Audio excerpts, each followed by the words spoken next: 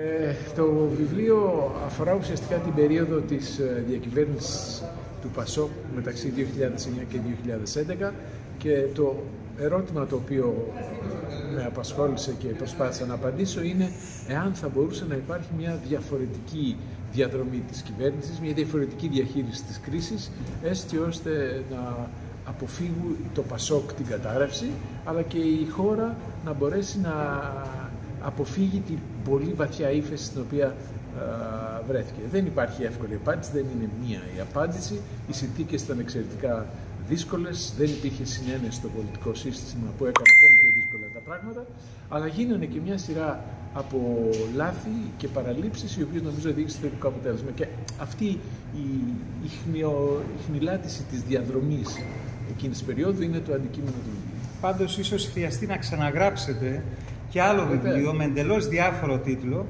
και περιεχόμενο σε περίπτωση που επικρατήσουν στις προσεχείς εκλογές οι δυνάμεις της κεντροαριστερά. Α, άμα επικρατήσουν οι δυνάμεις της κεντροαριστερά, τότε θα έχουμε ένα μικρό ε, θαύμα. Γιατί αυτή τη στιγμή οι δημοσκοπήσεις είναι λίγο δύσκολες και οι συνθήκες είναι δύσκολες για την ανάκαμψη της κεντροαριστερά. Απ' την άλλη, βέβαια, όμως θα πρέπει να πούμε ότι υπάρχει ένα ζήτημα εκπροσώπησης του μεσαίου χώρου. Και αυτό προοπτικά αφήνει πολλές δυνατότητες.